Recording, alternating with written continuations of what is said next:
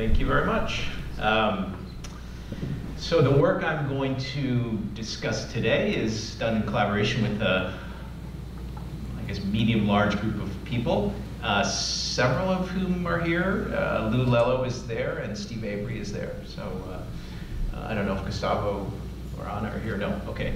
So it's done in collaboration with these people. Um, I first want to answer the question, why is somebody whose main background is theoretical physics doing uh, genomics? And the easiest answer is just to look at this curve. This is a cost curve for uh, genotyping and sequencing. And when I started getting involved in this area was sort of here, but the trend was very apparent. And this is a super exponential curve. So it's, it's, it's benchmarked here versus Moore's law. So Moore's law is merely an exponential curve. This is a super exponential curve. And uh, if you're as old as I am, you remember a time when bandwidth was really expensive. Like you had to buy a, a, thing called a modem, and you would put your phone receiver into the modem just to get a few bits per second. And at that time, people used to say, oh, someday bandwidth will be too cheap to meter. It'll just be so available that, wow, people will just watch stupid videos uh, for free uh, on their computer all day long or on their phone when they're bored. And we are approaching the era where genotyping is almost, not quite, but almost too cheap to meter. So in the sense that millions of people per year now are paying 23andMe and similar companies to have their genotypes done. There are many projects on the books or in planning which involve millions of genotype, genotypes of millions of individuals. And the data set that I'm going to describe here, the analysis of, is about half a million people. So we're kind of approaching this future where there really is a ton of genotype data. And uh, my prediction is that this field is going to really advance uh, tremendously in the next five or 10 years. So if you're a young person, you're interested in uh, an interesting set of problems, uh, this is one area where uh, you might choose to look. So now I have a little bit of a review for people. I realize this is not a, an audience of specialists. And so I, I want to say, I want to encourage uh, people to ask questions. So please don't wait till the end to ask a question. If you see something on a slide or I say something which is puzzling to you, I'm, i guarantee you you're not the only person who finds it confusing. Just raise your hand and, and I would happily answer your question. And I just feel that seminars go much better when people are asking a lot of questions. And in fact, if you think back to the hundreds of seminars that you've been to, most of the time, if it's a bad seminar, it's because there weren't enough questions and the speaker went too fast. It's almost never the case that the speaker went too slow and there were too many questions. That's, that's almost never the case. So always err on the side of asking more questions is what I tell people. Okay, so uh, let's imagine that uh, you could, uh, you had in front of you your entire genome. And so that's comprised of about 3 billion base pairs. And all the information that goes into the basic uh, plan that builds you, I, I don't want to say code because it's not the exactly the right analogy, but it's not that bad. So maybe we could say 3 billion base pairs forms the kind of code uh, that uh, is used to build you. Now, um, if you take any two people in this room, they're very similar. So if I, if I compare my genome to Lou's genome, even though he has bright orange hair, um, we only differ at about one per thousand base pairs. So if you just randomly chose a particular location on his genome and my genome, the chances that we would differ at that locus is only about one in a thousand. Okay? And furthermore, there are specific places in the genome where there is common variation, where if you look in that place, the probability that I and somebody else will differ is, is high, like 50% or 30% or 10%. So those are the places where there's so-called common variation, common variation, as opposed to places where actually uh, people could be all the same and really fixed, so that if you, if, you, if you change something there, you really break something bad, and people, so people never change. People never have uh, different uh, information in that particular locus. So in your head, you should think uh, 10 to the 9 total base pairs but the variation between humans is only about 10 to the minus 3, so you could compress all that information into a few megabytes if you had to. Um, and so what people have done um, uh, is they've identified the roughly million or few million, million places in the genome that are most likely to have variation. So if you want to study individual differences, so why is one person tall and one person short, or one person has orange hair and one person has black hair, um, what's causing that, you would, first place you might want to look if you were on a limited budget is you would try to measure those places where the genomes are most likely to be different because maybe that's what's accounting for the, the phenotypic differences. Okay? So think of these single nucleotide, nucleotide polymorphisms or SNPs as an informative uh, efficient sampling of the whole genome. It's not the whole genome, but it's a sampling of the whole genome. Current cost to get a SNP genotype for an individual is actually getting down to 25 $30 at large volume per person, whereas whole genome costs have gone down to maybe $800, $800 but there's still maybe a factor of um, at least 20 difference between the two. So although I would rather have the whole genome of somebody that's in our study, I would not want to pay 20x to get the whole genome. At some fixed budget, it is much more cost effective to get uh, many, many SNP genotypes than to get a much smaller number of whole genomes. Now, you may remember, again, if you're old like me, you may remember a big fanfare around the turn of the century about the Human Genome Project. We, we you know, we, we, oh, we read out the whole human genome, well, of one person. Um, what a great breakthrough, nothing will be the same again. Well, I would actually claim that the, the true decoding, the actual decoding of what the information in the genome does is happening now. It's only happening now. And obviously, if you take one second to think about it, you're, you're, talking about the most complex machines that we know of in the universe. They're being built from very short samples of code. Uh, surely the programming language or the, the way in which that code is translated into the being is really complex. And the only way we have to get at it is primarily statistical tools. So therefore, you're not really going to be able to do this decoding until you get very, very large data sets. Um, part of the theoretical work that we've done in this area is actually to characterize how much data you need to really advance in this subject. So in a way, our group is kind of working at a slightly higher level of abstraction, I would say, than most people in this field. And I'll, I'll talk a little bit more about that. Okay, so let's suppose you have a quantitative phenotype. Quantitative means you can measure it in some units, um, maybe to some precision. Phenotype means it's an aspect of an individual organism. Okay, and uh, so here I have a function y. So y stands for that phenotype. And the example that I'll use in the talk, I'll keep using this example just because it's the easiest one to think about, is, is human height, which is highly heritable. Um, it's heavily influenced by genetics, as long as the person uh, that you're looking at has had a good environment to grow up in. Um, and it's easy to measure. And furthermore, it's often measured in any kind of study where they gather some data about people. Measuring their height is pretty easy. In fact, even self-reported height tends to be pretty accurate, although men tend to lie by about an inch or something. Um, so think of y as the height of the individual, and think of g sub i uh, as a list of the values uh, for each common variant, each polymorphism that we're able to measure for that individual.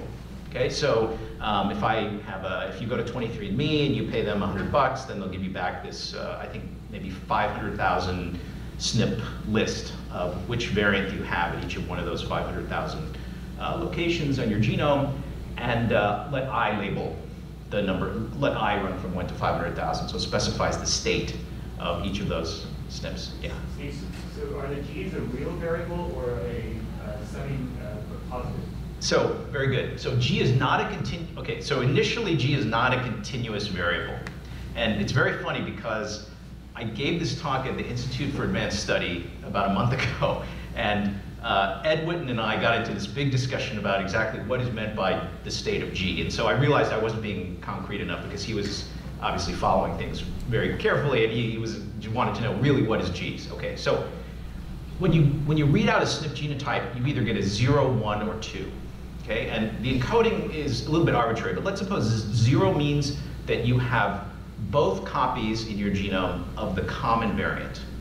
Let one be, you have one rare and one common variant, and two means you have both rare variants, okay? So that's the fundamental readout that you get from the genotyping array. But then in all of our analysis, everything is going to be uh, standardized. So we're going to shift relative to the population mean, and then we're going to divide by the population standard deviation. So what started out as zeros, ones, and twos will be some other very sort of continuous looking variables after that, okay? But uh, it is a definite number, and for every person, there's sort of, with, with uh, genotyping that we're talking about, there are basically three possibilities. Okay. Um, Why don't you put, a- why don't you put some, uh, some variable in terms of the, the genotype of it? I'm sorry? I am the, I'm, the gene, the gene part of it. Like the genes. So G represents the G sub i for a fixed i is the value of a particular individual's genome, genotype, at that particular locus, i. Does that make sense? So, okay, so we're reading out a million loci from your genome. I runs from one to a million. Oh, I tried to ask why you put some phenotype of it? The phenotype, the phenotype is Y, so Y would be like 183 centimeters, or if you Z-score, once you Z-score it, then it's sort of plus 1.2 or plus 1.4 or minus 1.2. Some other, some other phenotype you can put there, right? You can put any phenotype you want here, uh, as long as you can quantify it. For, for this formalism, it has to be something you can quantify. Okay. Um, so, uh, where was I? Okay, so, so G is the uh, genotype of the individual. Now, these are the things that we're trying to figure out. What are the effect sizes of, you know, what, how does having uh, variant A versus variant B at a particular locus, how does that affect the phenotype? And for most loci in the genome, there's not going to be a measurable effect. So it turns out that if you have a million, if you sample at a million places, even the most complex phenotypes, which maybe depend on, say, 10,000 or 20,000 individual loci, um, will not depend on all 1 million. So most values, most components of this vector x are going to be zero. Okay, and there's some number of non-zero ones. And for the non-zero ones, uh, that would mean that having one version of the, the, the, the SNP uh, at, at locus i either makes you slightly taller or makes you slightly uh, shorter. Okay, and we're trying to actually extract those values of x. Okay, now obviously this could be a nonlinear function of g, and so we have to include the possibility that, for example, you could have gene by gene interactions or gene cubed interactions, and of course there's going to be some environmental noise involved here. Okay, so from a mathematical standpoint, this is almost a kind of trivial model. It's like this incredibly simple model. Um, one interesting aspect of it is that it's well known that the linear term actually, in many cases, in, in almost all known cases, actually gives the largest component of variance. In other words, if you could only fit, if you could only extract the terms in the linear part of the model, you would already do quite well. And uh, in agriculture, this is actually applied quite a bit in both the breeding of animals and the breeding of plants. Okay? So the goal here uh, is to extract these effect sizes, which really describe the genetic architecture uh, of the trait. And today, actually, all I'm going to talk about, although we've done some work in extracting things like Z, uh, everything I'm going to talk about today is just extracting these values X. Question? Steve, back to G, it sounds like you are encoding them so that they're only the common variant and an uncommon variant, even though there are multiple var actual variants.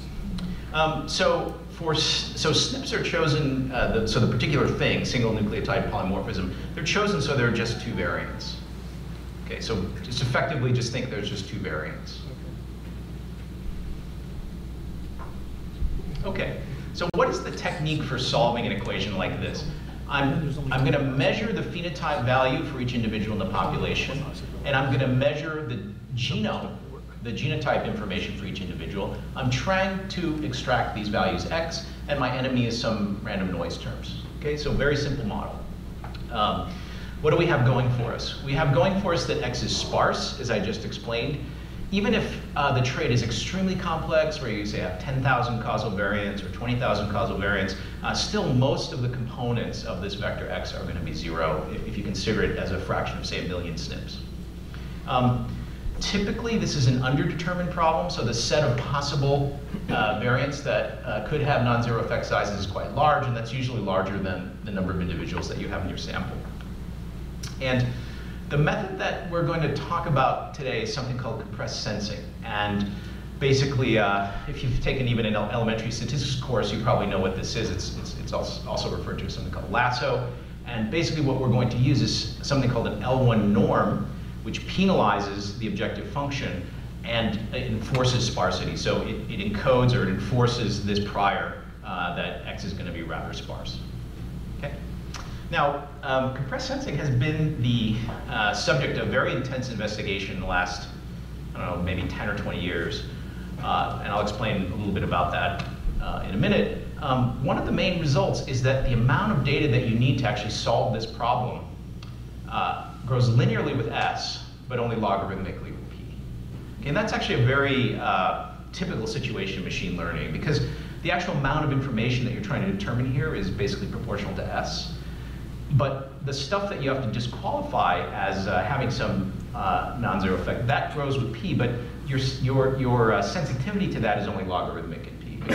Basically because you're, as you accumulate data, you're able to sort of suppress the, um, the variants that aren't going to have an effect exponentially.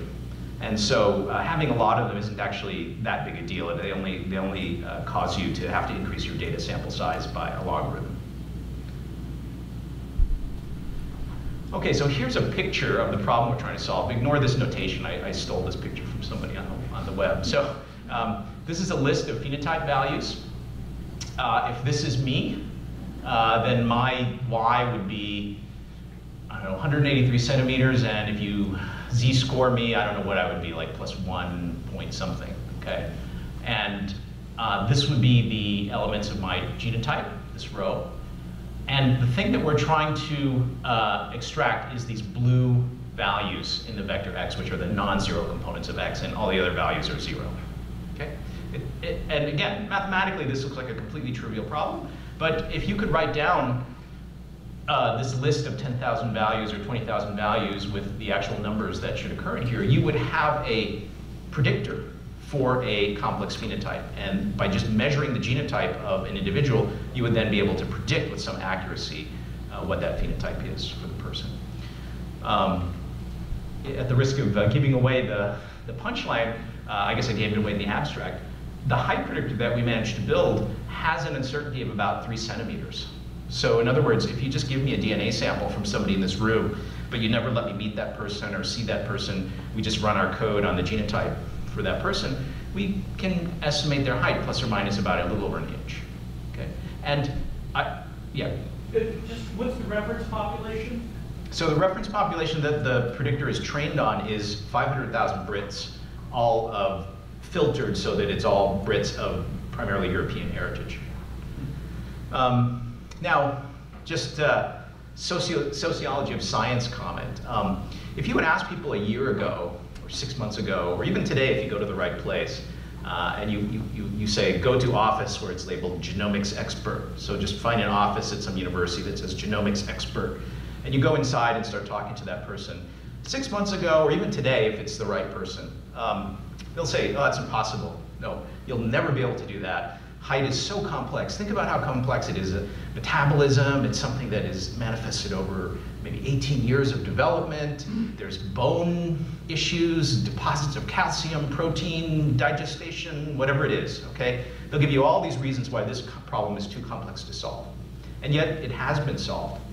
And the same kind of argument will be given to you if you, if a year ago, you, or two years ago, if you said, well, this my middle machine running on my phone is going to beat you in Go. In fact, it'll beat the best human that's ever played Go. A couple years ago, people had just said, that's insane. You'll never be able to do that. It's too complicated. Okay? So the thing to remember is that uh, if you want to study the progress of science carefully, you have to register what people are actually saying. Because once it's been done, everyone in hindsight will say, well, yeah, that's kind of obvious. Well, you can do height, but you, I'm sure you cannot do heart disease. Heart disease is way more complicated than height. You can't do heart disease. So we're in that phase now. So if you ask Lou or Steve or myself what kind of discussions we're having with other people in this field, now they're ready to say, oh, you can do height. Uh, you can do bone density. We have a bone density predictor as well. Um, but you'll never be able to do cognitive ability. Cognitive ability is too hard. So um, just watch as the, as the skeptics get crushed uh, and, and progress continues. Okay, so what is the reason why you want an L1 penalization? And so if, you, are familiar with compressed sensing, you already know all this, but uh, maybe this is useful for some people. I'll just go through it quickly. So if you consider uh, a problem in which you're trying to minimize the uh, norm squared error, so you take the sum of the squares of deviation between your prediction and the actual values, and, and so you want some uh, goodness of that uh, of that prediction. Um, but then you impose some other condition, like you want to minimize uh, the LP norm of the vector x, where p could be some number like uh, 0.1 or 1 or 2. It turns out that uh, choosing p is a trade-off between um, small values of p, which clearly enforce sparsity. They actually uh, do a good job of forcing the vector x to be sparse, but uh, finding the minimum once you include a term like that is extremely hard. Um, and uh, uh, if you include some other kind of penalization, you're not guaranteed to have sparsity, but of course it's relatively easy to solve that problem. And the sort of um, best middle ground is, uh, it turns out, when p is 1, because when p is 1, you both uh, have an overwhelmingly high probability of enforcing sparsity, but you also uh, end up with an objective function which is convex, and so it's relatively simple to minimize. And that's why there's been so much attention to compressed sensing, which is just L1 penalized uh, optimization. People are very interested in this particular set of algorithms because they combine these two characteristics. And there are very powerful theorems that have been proven by very famous people uh, concerning the performance of uh, this kind of uh, algorithm. Okay. So the objective function that we're trying to optimize is the following. Um, this is the L2 error. This is the genotype matrix. Uh, this is a candidate effects vector X. And then we have a penalization term here which measures the L1 norm, or the sum of the absolute values of the components of X. And, and that penalizes the uh, objective function. Okay. Um, as I mentioned, the um, expected amount of data that you need to solve this problem scales proportional to S. And what's interesting, so it's sort of S log P, but the interesting question is what is that coefficient? Sorry. Yeah. So S is the initial number of features you have in the Correct. or is the one that you? No, it, it's, so there's some hidden model that you don't know, but you're trying to get it. And S is the number of non-zero components of X in that hidden model. Oh, in the hidden. Yeah, so it's the ultimate thing that you're trying to determine. So it's the real number. Correct. And um, so from a sort of the le- from a higher level abstraction, the, the key question that you have, and this was my question when I was entering this field, because um, having worked on things like finding the Higgs boson, finding the dark energy, um, asking whether black holes destroy quantum information, I wanted to work on something that I felt could be solved before I die. Uh, actually, the Higgs boson did get solved, but the reason why the Higgs boson is light, which was our whole reason for building these billion dollar, $10 billion accelerators, we don't, still don't know the answer to that. So, so the reason I was intensely interested in this level of abstraction was because I wanted to look before I leapt, before I leaped. I wanted to say, if I'm going to work on this genomic stuff, I don't want to work on something where you just spend 30 years and you make no progress. I want to work on something where I could kind of guess where the progress was going to come and that looking at that cost curve, it was reasonable that we're going to get there. And so um, that all boils down to asking the question, there's some critical data threshold to solve this model. The amount of data you need is a coefficient times S log P. S I can kind of estimate, P I know. What is that coefficient? And it turns out to get that coefficient, uh, you use a very cool property of uh, this kind of algorithm, which is a, in physics, we would call it a phase transition behavior. Anyone who's familiar with high dimensional statistics knows that um, this kind of behavior is quite common. So as, as, the dimensionality goes to infinity, you can have very abrupt changes in the characteristic of some optimization procedure. And that's what uh, we're going to talk about now. So um, it turns out the coefficient uh, that we want to know um, is about 30. So for p of order a million, uh, and for a given phenotype with some value of s, the amount of data that you need to, quote, solve it is roughly order 30 times s. And, and I'll explain to you now how we know that. Oh, and I, I should say, this is for a particular amount of heritability. So uh, just for benchmarking, let's suppose we have a trait in which half the variance is genetic uh, due to these SNPs, and then half is some other stuff. Okay, that's, that's, what the, that's the case for height. Okay, so this phase transition is so famous it has a name. It's named after Donoho, who's a professor at Stanford, and one of his former students named Tanner. I think Tanner's at Oxford now or something. Um, so uh, what is the Donoho-Tanner phase transition?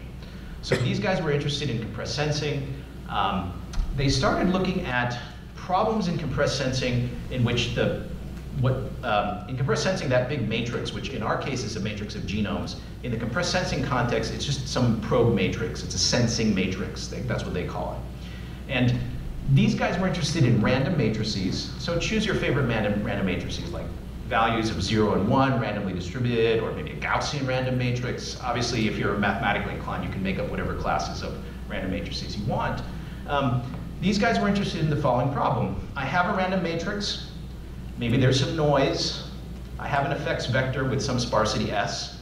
How much data do I need to solve that problem, to, to invert the problem and figure out what x is? Okay, that's exactly the problem we want to solve. So these guys did a bunch of simulations and they always found, they found for very broad classes of random matrices, they found this kind of phase transition. Okay, so let me explain what this is. The variable rho is the ratio between the sparsity and the amount of data that you have. This parameter delta is the ratio between the amount of data that you have and p, which is the number of the total number of features, potential features. Okay? So it's natural to scale in this way, to think in terms of those rescaled variables. And so as you accumulate data, rho gets smaller and delta gets bigger. So you traverse this graph kind of in this diagonal way. You start from this region, which is really bad, it turns out, and you head toward a region which is really good. And there's a very sharp behavior uh, right here. And it turns out, as you cross this uh, boundary, the support of the vector x, so not the specific values of each non-zero entry, but the, the positions of those entries becomes apparent. So when you first cross this boundary, you can quickly identify the support of x. You don't know the exact values of the coefficients, but as you go deeper in here, then you get the, you get the actual values. Okay? That, that is the result that Donoho and Tanner found, and they found it for a very large class of random matrices. However, one class of random matrices, which they did not get the result for, and which no one could get the result for until a few years ago, was matrices made of human genomes. Why? Because although matrices of human genomes are random, there's a bunch of random SNPs in there, there are massive correlations in it not just within my genome. So my, you know, my genome obviously has lots of correlations, like the variant that I have here is actually somewhat correlated to the variant that I have here. But also the variants I have are correlated to the variants he has. So you're talking about a matrix with properties which are very hard for a pure mathematician to characterize. You cannot just characterize it by saying, oh, I take a draw from this urn, or I take a draw from this Gaussian distribution. You can't do that. Um, I made a little joke at the Institute about all theorems all complex theorems after like uh, Pythagoras uh, are actually not usable in the real world. Okay, I got a big laugh at the institute. Uh, so, but this is one of those cases where you can you can look up thousands of pages of papers written on compressed sensing with beautiful theorems and performance guarantees and all kinds of things. None of them apply, strictly speaking, to genomes. Okay, so a few years ago, I and some collaborators got a hold of 10 or 20,000 genomes. So we made some big 20,000 dimensional matrices, and we started doing simulations to see, uh, to basically what Donoho and Tanner had checked, but in this case for the matrices that we really cared about. And we produced this, we reproduced this curve exactly. Okay? So, in physicist speak, um, matrices of human genomes are in the same universality class as Gaussian random matrices for purposes of this phase transition. Okay? So, nice result. Uh, only we cared about it. No one else in the field of genomics understood what we were talking about.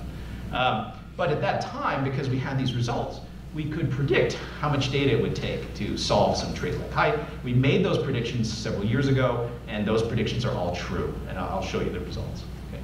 Now, one point of clarification. Uh, this is for the noiseless case. So what Donoho and uh, Tanner mainly studied was the noiseless case.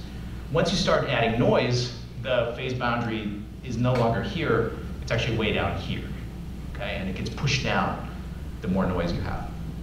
And so the 30S result that we're talking about is for a case where half of the phenotype is determined, half of the variance in the phenotype is determined by the genes, but the other half is pure noise. Okay, that's the, that's the value that you actually care about. It turns out the critical value of um, rho that you need to get to is about 1 30th. Okay, it's about 1 30th, so it's 0.03 on this graph. You can't even really see the blue good region here, but it's down there. And so if you go down to rho of 1 30th or less, uh, you'll cross that boundary, you'll get good results, and that corresponds to an n of order 30s. Okay, and so that, that, that's what, how you can predict all these things. Yes? Where does the number thirty come from? What, how do I take point five, you know, this is- It, it comes out of the simulation. So basically, if you, if you ask, so if I could blow up this region of small rho on this graph, and you could look at it, and you could ask, as we scan down, uh, as we scan down this diagram, at what point do we get the proper support of x? So there's always some candidate vector that the optimization finds, and up here it's like just lousy. It's lousy, lousy, lousy, lousy, lousy, lousy. And then there's always this, there's a sharp behavior, somewhat sharp behavior, and then you get the real thing at least the support of the real thing. The actual values are not right. You need to go even lower to get precise uh, values. But uh, you can see where that phase boundary is. And the phase boundary, again, this is kind of rescaled, this is sort of scaled, rescaled universal behavior. So it's always happening at about, for, for this choice of noise level, it's always happening at about rho equals 130th. So that's how you get it. So it comes out of a simulation, basically, but using real genomes. Okay. Um, this is kind of for experts who are in the field, but I just want to make the distinction between, so GWAS is the main kind of activity that's done uh, in this field. It's people just collecting huge amounts of genomic data and then looking for uh, statistical correlations between um, variation at a particular locus and a slight change in the phenotype. And so what uh, GWAS stands for Genome-Wide Association Study. So you're trying to find the individual SNPs that are associated with the phenotype. And you generally conclude that with some confidence level, which is given by a, something called a p-value. Okay? And uh, the field has arrived at a um, criterion of p less than 5 10 to the minus 8. So if you, if you can get a result which is um, with p-value less than 5 10 to the minus 8, that's considered genome-wide significant. And this number just comes from a kind of arbitrary thing. It's like instead of p less than 0.05, which you might remember in some fields they get a, they're able to claim a result with p less than 0.05. But here you have to remember you're testing potentially like a million different independent uh, SNPs. So if you just naively correct that p less than 10 to the minus 5, uh, p less than 0.05 by this 10 to the minus 6, which is the million uh, multiple testing factor, then you get this threshold. And the community has basically kind of decided that this is a good threshold. And in fact, studies uh, results which are established at this level of statistical significance routinely replicate. So in other words, if I do a study of diabetes and I find this particular SNP is associated with the, your chances of having diabetes, and I can establish it at this p-value or less, chances are very good that when another group goes and does a study on a completely different population, they will also find a statistically significant result, and so the result replicates. For many years, uh, the field was kind of in chaos because people were allowed to publish at p less than 0.05, and then nothing, nothing from that era replicates. In fact, you can, there's a whole, there's a series of papers that are, you know, in some five-year window, which you can literally just throw all of them in the trash because none of them will replicate, almost none of them will replicate. Um, what we're doing here is quite different from that. We are not trying to establish at super high confidence that one particular SNP is associated with a phenotype. Rather, we are trying to solve the following problem. You give me a chunk of data, hopefully it's enough data that I'm on the good side of the phase transition, and I just want to try to build the best predictor I can from that data. And I'm willing to tolerate some false positives. So if my predictor, act, I, I do this crazy optimization, and I activate 20,000 SNPs, maybe a thousand of those SNPs are false positives. Maybe they actually do nothing. Okay, they, they're not actually biologically related to the trait. But I don't care as long as, given the amount of data that you presented me with, I have actually found you know, the best predictor or close to the best predictor, given the statistical information that you gave me. So we're trying to solve a very different problem than traditionally they were trying to solve in this field. Now, if you have simple genetic architectures like it's all determined by these three genes, um, one is probably okay, right? Because you'll find those three genes, and then just by taking some little combinations of the values of those variants, you can get a good predictor. But if something depends on 10,000 different uh, loci in your genome, one is not really going to work, uh, but two does work. Okay, so uh, in this field, there's something called the missing heritability problem. So what do we mean by that? Let's take height. So uh, if you take two twins, the two twins, identical twins, raised in somewhat similar environments, maybe not the same family, but somewhat similar environments, they'll differ in height by maybe an inch or something, maybe less. And so from that kind of analysis, you can conclude that the total or broad sense heritability of human height uh, is about 80%. So about 80% of the population variance in height is determined by genes. Obviously, if you starve a kid, you don't give them any protein, they're going to end up much shorter. That's, that's not allowed, okay? We're talking about within some range of decent uh, environmental conditions. The heritability is, is high. Um, you can do a very sophisticated thing and try to figure out how much of that heritability is due to the common variants. So if you're only if you only have access to these inexpensive SNP arrays, you're only going to get at the common variants. There are going to be some rare variants that escape you, and also maybe there'll be some there can be some gene-gene effects and things like that that you don't get at. The estimate of the amount of heritability due to common variants and additive effects of those common variants is about 45%. Uh, until recently, the very best anybody could do um, with uh, prediction using GWAS results with hundreds of thousands of people is maybe capture about 16% of the variance. And so there was a big mystery in the field about, oh, this is all this missing heritability here, and there's all this missing heritability here. And what our results do is they close this gap. They get you from this 16% uh, very close to this 45%. Okay. And um, so my claim would be that um, the answer to the missing heritability problem, at least as far as the common variants go, not this part, because this is still not available to us, um, but at least as far as the, at least as far as this common variant SNP-based heritability, the solution to the missing heritability problem is both uh, better data and actually better analysis, better algorithms. Okay, so what did we actually do? Um, here's the objective function again. Uh, if, so if you're not in this field, you don't care about this stuff, but, but you have to go through a bunch of quality control to throw out the individual SNPs that maybe didn't get genotyped quite right. Um, I mentioned that we transform all the variables into standardized variables, so they're z-scored.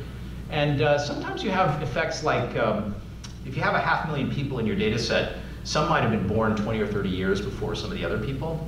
And it turns out in England, people got taller over this time, probably because nutrition got better. And so you need to correct for that too. Uh, 20, 30 years is not enough time for any kind of genetic effect or genetic evolution to have occurred, so it must be some environmental effect, and you need to, you need to correct for that. So our training set is typically a very big set, like 400,000 people, 450,000 people. To implement our algorithm, we need a small holdback set. This holdback set is actually used to uh, determine what this penalization parameter lambda has to be. And then to validate the predictor at the end, and this is familiar in machine learning, you'd like to have some out-of-sample data. You'd like to have some totally different data and see if you can predict the heights of those people. Okay? So here are the results for height, um, trained on 450,000 people. Um, this is uh, we presented this data with only 2,000 people here. So these are 2,000 people not involved, who are not using the training. Okay. And the reason we just chose 2,000, because if you plot, obviously we have many more people, but if you plot more, what happens is the density of these points becomes so high that your eye can't really sense uh, what the contrast and what the shape of the density function is. So 2,000 is about right, because you can see most of the people are clustered you know, close to this line, and not so many people are off the line. These error bars are computed by taking a bin of people and just calculating on a much bigger data set uh, the standard deviation within that bin. And the typical size of this error bar is something like, as I said, three centimeters. Okay? Red dots are women, are females, blue dots are males. And one way to summarize this is that if, if you go to a crime scene and the detectives hand me some DNA and we don't know who the killer is, but we go to our lab and we genotype we genotype the DNA and then we run it through our algorithm, we can tell the detective that the killer was uh, 6'4 plus or minus one inch. And um, uh, I think that's pretty amazing. Okay, when I, I mean, as an old physicist who started doing this seven years ago, uh, you know, I knew we were going to get here, but, but of course, uh, it, it, took, it took much longer than I had hoped. You're missing the, you, have, you predict that the very tall will be shorter and the very short will be taller. Is that the sampling? No, you can, you can certainly make mistakes. So you, yeah, you, you can. All, all Oh, are you talking about some systematic? Yeah, Yeah, if you look, if you look, it, it looks like this is actually tilted a little bit relative to the trend line or something. We, we actually got exercised over this and started thinking like, uh, oh, maybe there's some easy correction we can make to our predictor to improve things. But he's, he knows. So it doesn't, it, it, it actually you can't. You, you'll just, if you try to do anything to improve what the machine did, you'll always make things worse because the machine actually optimized. Um, so anyway, uh, yes. So for this population, for this particular population, what is the heritability like? So um, the, the SNP-based heritability is about 0.5, 0.45, 0.5. Uh, are you familiar with GCTA? Yeah. Okay, so if you run GCTA on the data on different populations, you typically get about 0.45 to 0.5, some, somewhere in that region. Now, we can get pretty close to that. We can get correlation up close to about 0.65, I think, and so we can account for maybe 40% of the variance, maybe. Um, I'll show you this curve. So this is uh, what happens if you do exactly what I was describing before, but you do it with different training size training sets. And you can see there's kind of asymptotic behavior. So you know it looks like we're getting diminishing returns, and we are actually close to saturating the predicted heritability. Okay. This is bone density. So uh, they actually in the UK Biobank they have measurements of 500,000 people. Um, I don't know if it's an X-ray or sonogram or something done to the heel of these people and measures how dense the bones are, their bones are. And that's also pretty heritable, and you can see we're close to, you know, optimizing a SNP-based predictor for that too. This one's actually more medically relevant because uh, people who have low bone density, it is claimed in the medical literature, which I generally don't trust, but it is claimed that uh, if you have low bone density, you're particularly uh, susceptible to osteoporosis as you get older. So that one, this one actually has some, you know, medical applications. Okay. Um, one of my one of our collaborators, co-authors, doesn't like this language, but I'm going to use it. This is a rough sketch of the genetic architecture for human height. So, in other words, if I took all your chromosomes and I laid them out end to end, and I just put a base pair coordinate on the horizontal axis, these are the effect sizes in standard deviation units. If it's positive, it means the minor allele, having the minor allele makes you a little bit taller. If it's negative, it means having the minor allele makes you a little bit shorter. Okay? And it's basically, our predictor is so trivial, it's just adding up all these things. You measure the state of the person on all those 20,000 variants and you just add them up. But we, you know, does okay.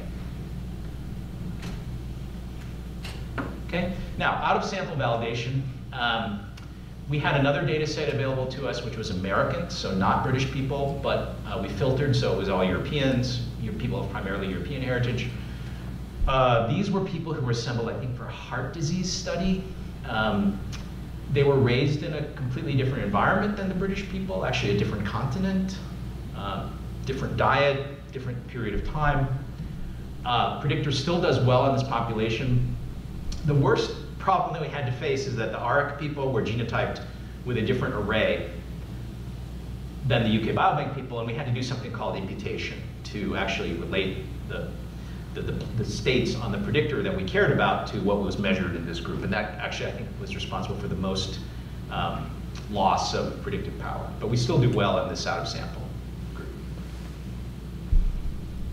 And I guess we've now received several confirmations from other groups that they've replicated our results. So 23andMe claims to have replicated our stuff, and I think some other, I mean, even just a random grad student who happens to actually know how to run Lasso can replicate our results. And we, I think we got one such email like that from Harvard or something, right? So, um, Yeah. Did you male female before the regression? could you say again? Sorry. Did you the uh, male female before the regression or, or? So, good question. So, uh, when we z-score, we z-score everybody relative to their gender mean and relative to their gender standard deviation, and then we compute like that. But to make these plots, because it's cooler, we, we, we undo that so you can see the men and women separately. We- Okay, we- so only basic scores you use that? Yeah. don't- don't do two separate? uh, We, we don't, we do not in our training, but to make this plot, Okay. we, we did use the knowledge of the gender of the person to reverse the z-scoring. Okay, um, this is displaying the phase transition behavior a little bit. So as you vary this parameter lambda, um, this is the number of hits that are activated in the predictor Um, and this is how well the predictor does. And you can see there's very sharp behavior like this. So uh, as we move along this curve, we're varying this penalization parameter. And you can see there's a critical range that if you vary it, you get a very sharp response in the optimization. Okay, so I mentioned we've done height, we've done bone density. I think we claim to have the best BMI predictor in the world. Is that true? Sure. Well, at least better than anybody else has published, right? The best educational attainment predictor. I think we can do hair color. I don't know. Did we do baldness or we just know we can do baldness because somebody else published? Well, anyway, we can probably do baldness. We can do grip strength. These are all just weird phenotypes that are in the UK Biobank data, and there's enough data that if you run our code on it, you can get decent predictors. Okay. Um, my guess is that even for the most complex traits, if the heritability is in this ballpark, um, you know, if you, if you have a million, a a million, could be a little bit less, could be a little bit more, uh, individuals and you have their phenotypes, you should be able to solve these, solve these uh, traits, get good predictors for them. And so one that uh, I'll tell you a little bit more about is cognitive ability, um, which is also highly heritable. Um, and the one that uh, NIH people care about is, of course, disease risk. I'll talk about that. Yeah. Is your method, you dropped the quadratic term, right? Is that because your method doesn't? You mean the gene-gene term? Yes. That Your method doesn't work on that, or have you tried it? So, um, so remember when I wrote that function expansion out, it was GG and then there was a tensor Zij that sat there. So if you think about how many terms there are in Z, Yeah. okay, it could be 10 to the 6 squared, Mm. okay? Now, if Z is sparse, say it's block diagonal or something, there's some locality in your genome so that the SNPs that interact tend to be closer to each other.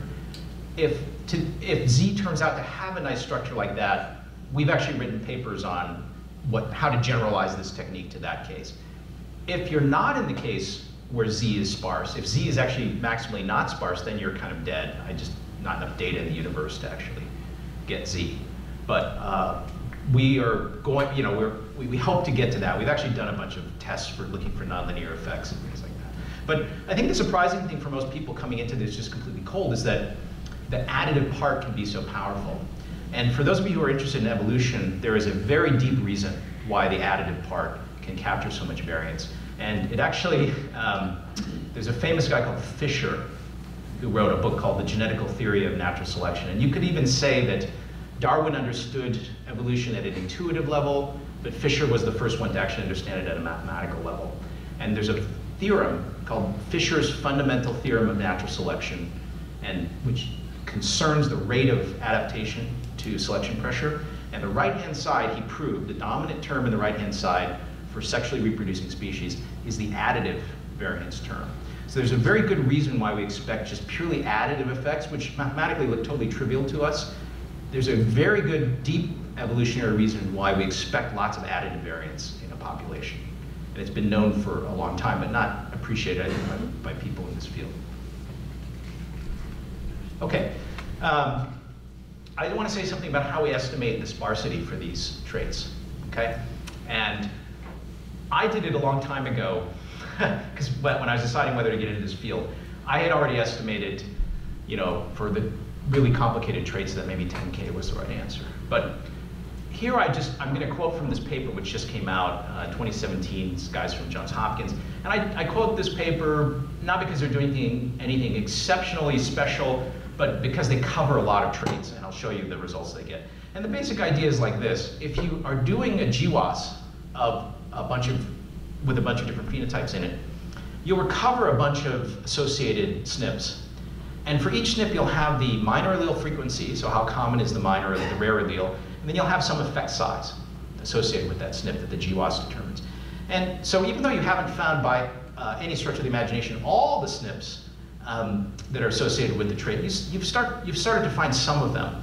And you can just extrapolate that curve. You can just, in the dumbest way, extrapolate that curve and then integrate under it until you recapture all the heritability you think should be there.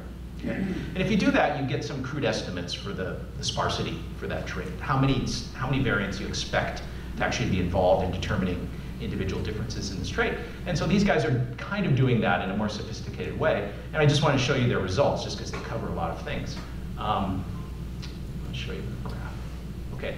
So, sorry you can't read this, but these are traits, uh, so the, the, the vertical axis is the, the sort of number density of SNPs. Um, the effect size of the SNP uh, is the distance, is the coordinate on the horizontal axis. So most SNPs have, which have non-zero effects, have kind of small effects. A few rare ones have big effects. And sort of the area under these curves is proportional to the sparsity. Okay? And just to read you the variety of things they looked at, BMI, height, hip circumference, waist circumference, LDL cholesterol, HDL cholesterol, triglycerides, childhood IQ, childhood obesity, infant head circumference, intelligence, neuroticism. Okay? And you can see there's differences. These, these things have different genetic architectures. But when you actually go and integrate to figure out how many, what is the sparsity for any one of these traits, they're not that different from each other. So my prediction based on these results or some older results that I had uh, are that, you know, cognitive ability will be a bit harder than height, but maybe two or three times harder. So if you had a million people and you had good phenotypes for them, you had all their SAT scores or something, you could, you could actually build a pretty good cognitive ability predictor. Okay, and the same would be true for even the most complex disease. Okay, this is taken from a website called, a web page called SNPedia, which is, I think is maintained by NIH. And they just give a list of bunch of traits. Most of these are disease conditions, but not all of them. Most, I think most of them are though. And then the, the estimated heritability and then some references, okay? And you can see that, you know, this is just alphabet, alphabetical. So these are the A's, these are the B's, and it goes down to Z.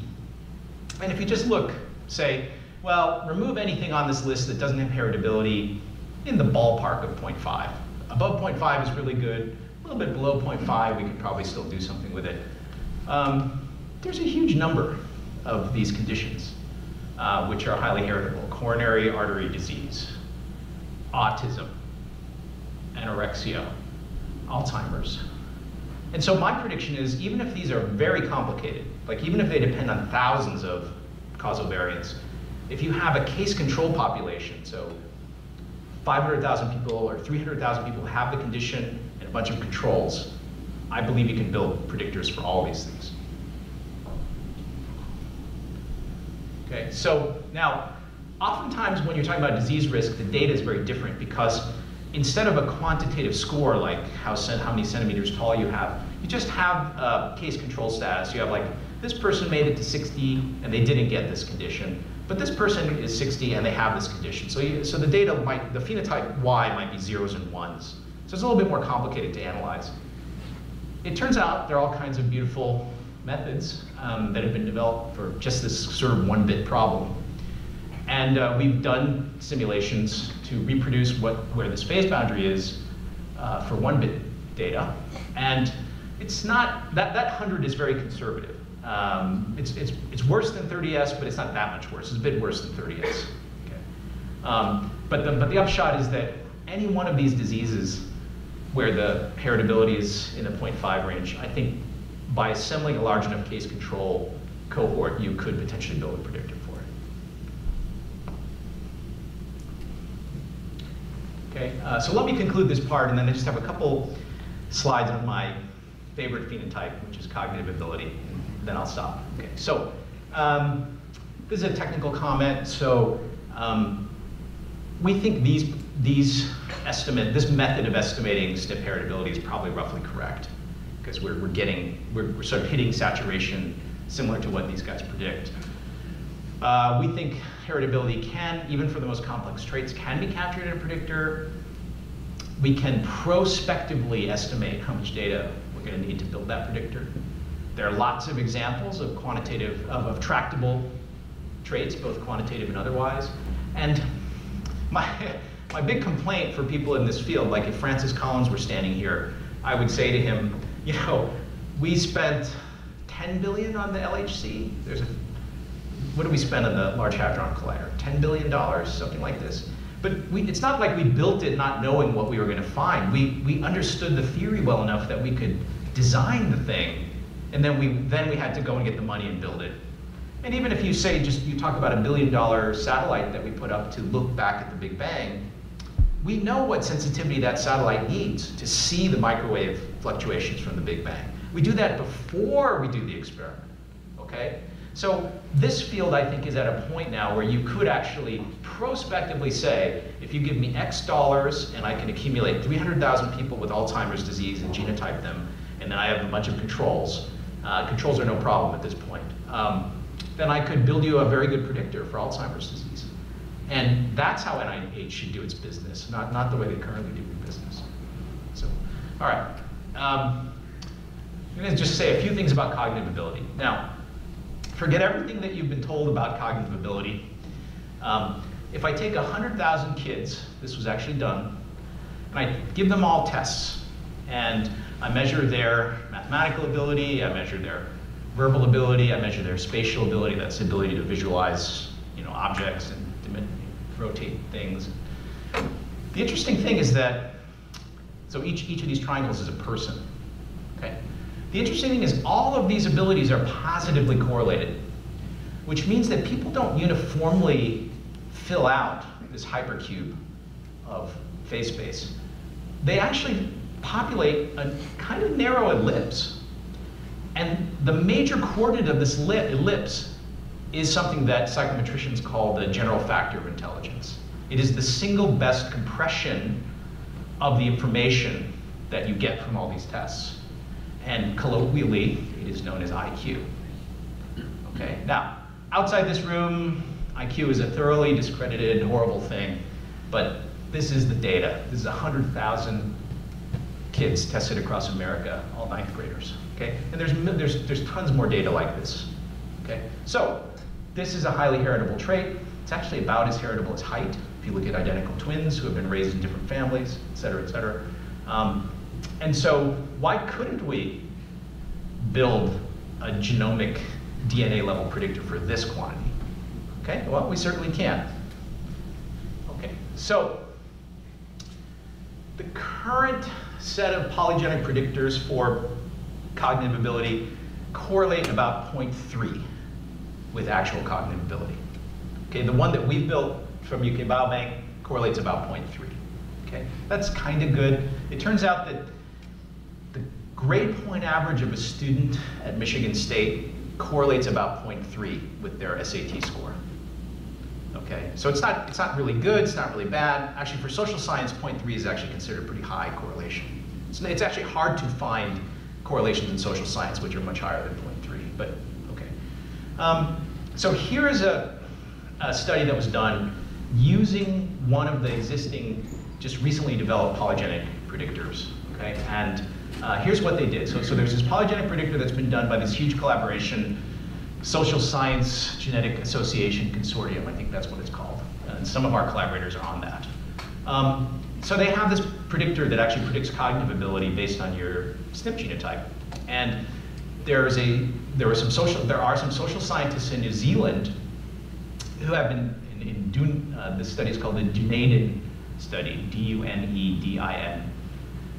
And they've been following, it's a longitudinal study, so they've been following a thousand New Zealanders of European heritage from childhood through middle age. So all the people in the study are old like me, okay? So we already know what they did in their life, okay? We know whether, whether they graduated from college. We know whether they got locked up. We know whether they got addicted to drugs. We know, et cetera. Okay. So they gave each of the people in this study, each of these dots is 10 people. They gave each of the people in the study a score. And this is pre-existing stuff that people in social science were already doing. This is just the latest thing in the stu longitudinal study of this population. Oh, we got a genetic predictor. Let's see if it's any good. Okay, so uh, these are people who grew up in low socioeconomic status families. These are the middle class people. These are the people who grew up in rich families. Um, you'll note that the average polygenic score is lower in the low SES group, is average in the middle class group, and it's above average in the upper class group. Okay? Um, it is what it is. Okay? Social Darwinistic stuff. Okay? Can you predict from knowing the polygenic score of an individual whether they will be, say, upwardly mobile or downwardly mobile? Well, this is obviously very weak right, data, but there is some signal in here. Okay, I think there really is, and I'm pretty sure that as data accumulate and you you know you do a better job of building your uh, the polygenic predictor, um, all of these clusters are going to tighten, and so we will reach a point in time where we can actually say some you know crude thing about someone's potential in life, actually just from their DNA, maybe even before they're born. And so uh, I think we're probably five years from that at most, just if you look at the rate the data is accumulating and such. So um, let me just end there because I think that's the, that's the thing which is going to have the most impact on society. Hard, to hard for us to imagine, but if you, if you flash forward 100 years and think what is the effect of being able to do this kind of thing going to have on society, um, it's, it's, it's very dramatic. So let me stop there.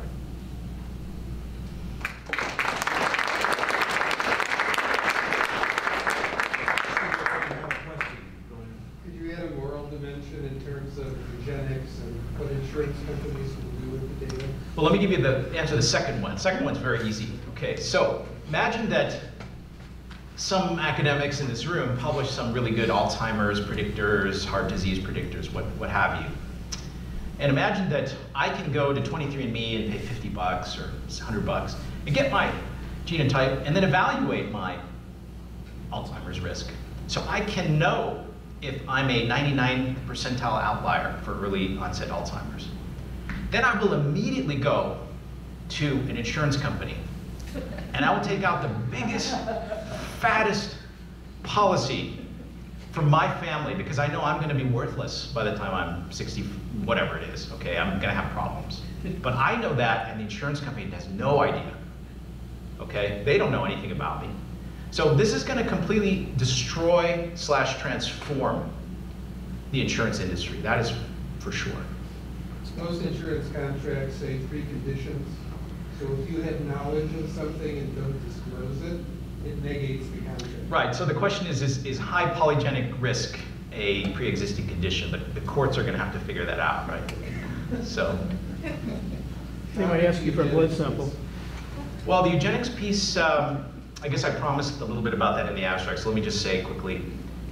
There are about a million babies born worldwide each year using IVF, in vitro fertilization. And in some places, it's about 1% of all new births are through in vitro fertilization. Without getting all, into all the technical details, it is now common for couples going through IVF to genotype, to not fully genotype, but to do some level of genetic testing on the embryos to select which ones to implant.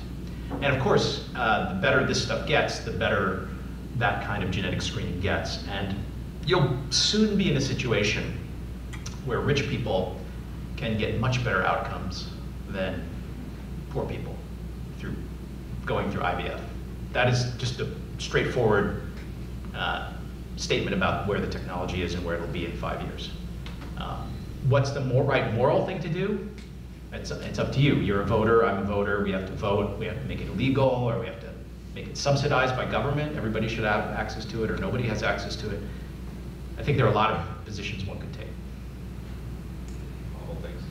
Uh, So, uh, you, you said that in genotype there are called partial correlations, uh, which means that uh, different axes have similar performance. But When you apply your norms uh, to force sparsity, well, maybe a better uh, performance could be achieved by a set of axes or uh, uh, some axes which you exclude through the norm. Can you comment on that? I'm not, I'm not sure what you're saying. So, um, So if there are correlations in, in the that means you could choose different x's, x vectors, Mhm. which would yield the same result. Because. Yes, oh, I understand your question, yes. So, when you run the lasso algorithm a second time, you don't get the same X optimization. You may get a slightly different X optimization, but of course, there, the inner product is quite high between, in a sense, the, the coarse-grained inner product between them is quite high. So, um, there are many, uh, in detail, in, in a granular level, inequivalent predictors, but actually at some coarse grain level, they are equivalent. Does that answer your question? One of the places where it strikes me that you might be able to make a, a improvement on your model without much work with respect to the interaction terms that, that you said by and large are pretty small was, uh, so Charles Darwin was worried about the effects of inbreeding. Uh, his son, George Darwin, the physicist, wrote the first paper showing that consanguineous uh, marriages led to a higher fraction of children in prisons and in insane asylums in the day. Yep. And so I'm, and that- that's also something that varies geographically.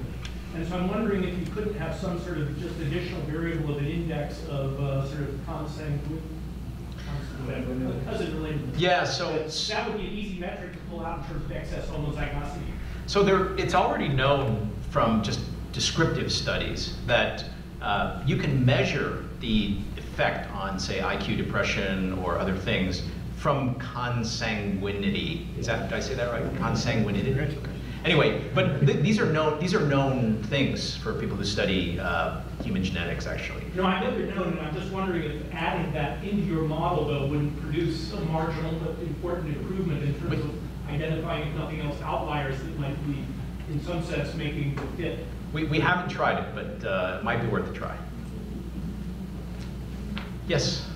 Could you show the plot for uh, predicted height versus actual height in the British sample again for a moment? Yep. Okay, So one of the things that struck me about that is it's just barely discernible in the British case, but in the American case, uh, there's a distinct shift between the lines for the women and the lines for the men. So the Americans, uh, the intercept is quite different for women and men, even though they're more or less parallel. Yeah. Is there an explanation for that? Is that nutritional differences between women and men in the US? We don't know. We don't know. Um, it, well, yeah, I, I, best answer is just we don't know. Um, we, I mean, there's there's so much interesting stuff to do in this area. We're kind of like at our limit to like try to figure out like prioritize what's the next question we should look at. So, Yeah. My other question Oh, about yeah, go I ahead. do have another question about that, which is, uh, if you take a given predicted height and you look at the distribution of the actual heights, uh, is it Gaussian all the way out?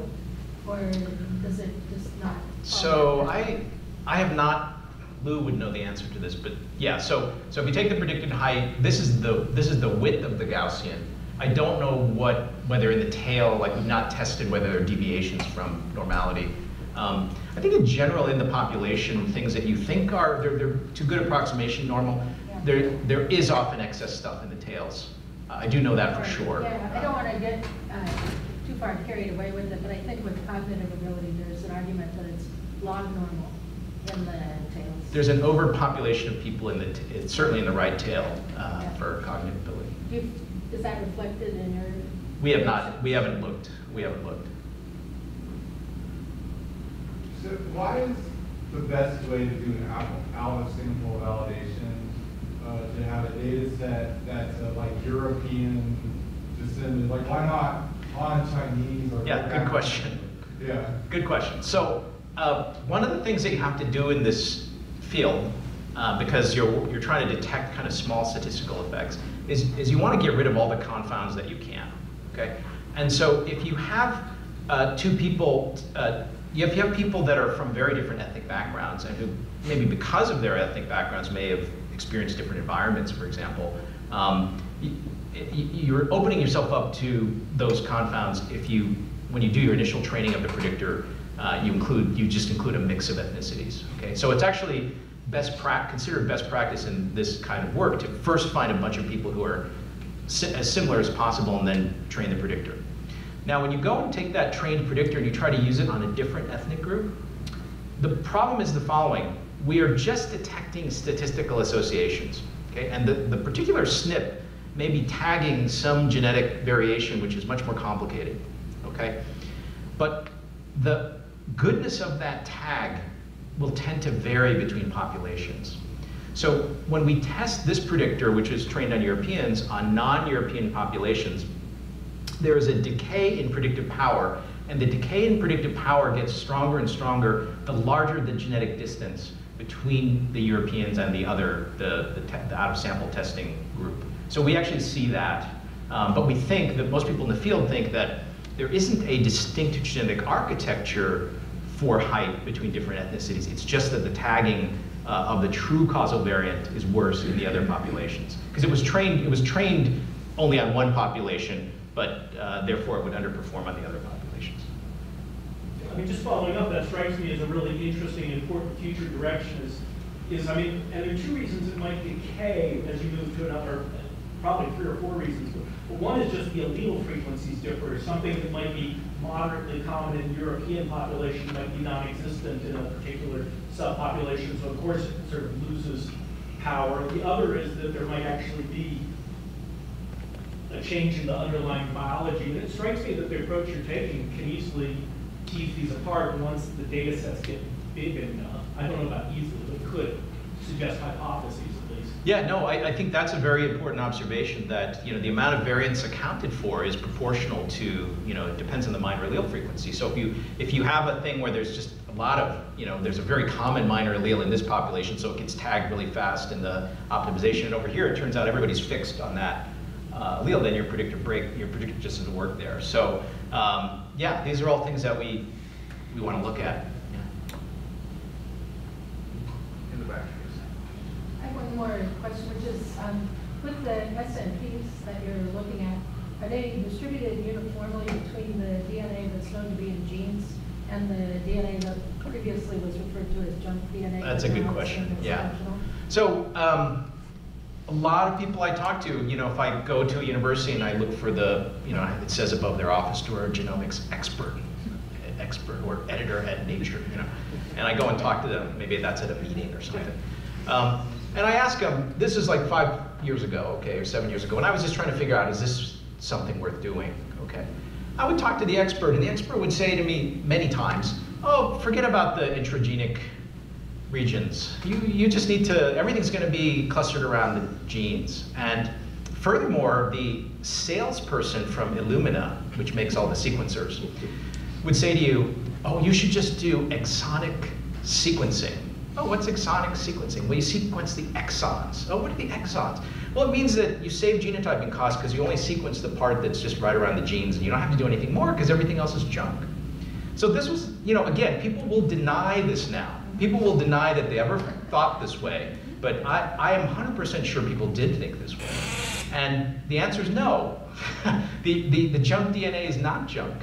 And the, there's, there's all kind, I mean, if you think about how complex we are, has to be the case. There's some control stuff which could be quite, somewhat far away from the gene, which is doing something interesting. And that, I think that's kind of what you find.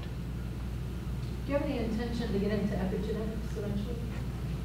Uh, sure, yeah, yes, but, but we're trying to solve the easiest. So that's another, the secret of physicists is always solve, always figure out what are the, what's the low hanging fruit, what can be solved, you know, in a foreseeable way, and solve that. And then if it gets too complicated, leave it to the really strong people to continue on.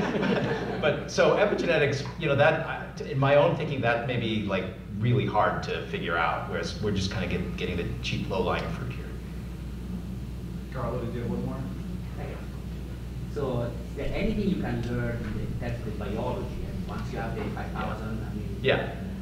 SNPs, I mean, you So- try to do any pathways? Yeah, so there's a whole group of people who have developed all this code that, and even there, there's all kinds of interesting machine learning, where, where the machine, maybe the machine learning is even just like reading the literature, okay? And they will do things like, uh, they have a way, I don't even really understand how it works, but there, there are these funny acronyms for these software packages that people have developed, where you just throw your stuff in there and it tells you, um, yeah, actually, this thing is expressed in this pathway, and uh, it's interesting for this reason, and all that is, you know, beyond me. But, but, uh, but for sure, people are doing it. Like our collaborators at the SSGAC, the ones who study cognitive ability and stuff like that, they have done all this stuff which shows that the SNP hits that they've found are very strongly expressed in like the nervous system and, and the brain and all this other stuff. So, uh, but I, I don't understand any of that myself. Okay, so just so we're not inundated by the next seminar that's coming in, we should end here and let people go. But if you have more questions, I'm sure Steve would you Sure. a few minutes.